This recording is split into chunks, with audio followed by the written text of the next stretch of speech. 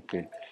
Uh, hello, everybody. Uh, we are now uh, in the workshop um of the third uh, uh, Dar Zukura conference, DISAC 3, and this is the first uh, infrapubic uh, insertion to the three pieces inflatable penile prosthesis in the Egypt. This is the first case made by Dr. Gabriel Antonini. Speak and tell us what, what his uh, opinion about the conference and the, uh, the surgery and what is the difference between this type of incision and the penoscrotal incision which is usually used in Yes, Egypt. where I can speak.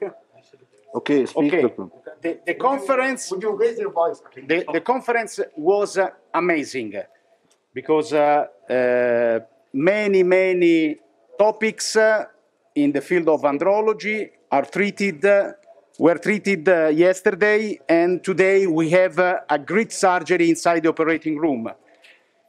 In my personal experience, uh, the difference between the infrapubic approach and uh, the uh, penoscrotal is uh, the positioning of the, of the pump, because the pump is posterior in, in the scrotum, and the aesthetic result uh, is very good. The patient can feel the tubes, and uh, to implant the reservoir, you have uh, a, a better view. You can check everything better as possible. This is the, the two, the, the two uh, uh, par, best part of the infrapubic. But for sure, if you are a good implanter, in my personal experience, you have to do penoscrotal and uh, infrapubic, for sure.